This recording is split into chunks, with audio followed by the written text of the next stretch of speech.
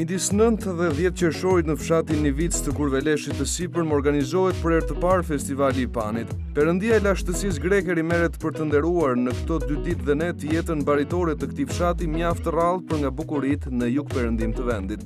Është menduar që dita e parë do të jetë një prezantim i i artizanatit, i pjesës së kulinarisë së zonës.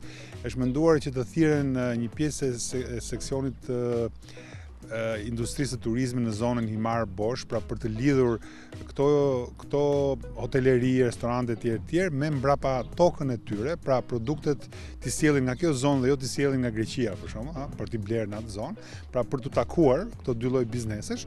Agjencia Kombëtare e Bregdetit në bashkëpunim me Bashkinë e Tepelenës po e çon më tej projektin e nisur një vit më parë në këtë fshat për një model të turizmit që lidh zonat bregdetare me ato malore. Edhe pasi është restauruar një pjesë e qendrës së fshatit për ta kthyer në zonë turistike, po organizohet ky festival që përfshin një paradë të burimeve më të mira që ofron zona.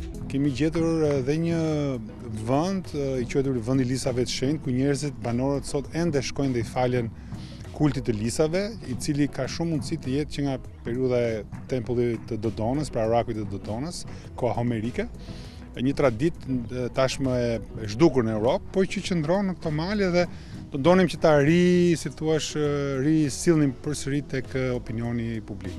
Turizmi sportiv i aventurës me ngjitje në malin e Nivicës apo me zbritjen në kanione apo ujëvara, pastaj parada e dhive dhe e cjepërve, kafshët e bekuara të këtyre zonave të shkreta e të thella, që jetojnë kryesisht me blegtori dhe fjetja në natyrë në çadra. Për të rikthyer vëmendjen, po për dhe të zhvilluar një lloj turizmi i cili është shumë trendi sot në botë. Pra, për shembull ne vjet nga zero vizitorë, kemi pasur rreth 500-600 vizitorë të huaj që kanë ardhur atje. Sot që flasim ne është një grup australian i cili po eksploron kanionet, pra ka një lloj vëmendje modeste, por që ka filluar tashmë në këtë zonë.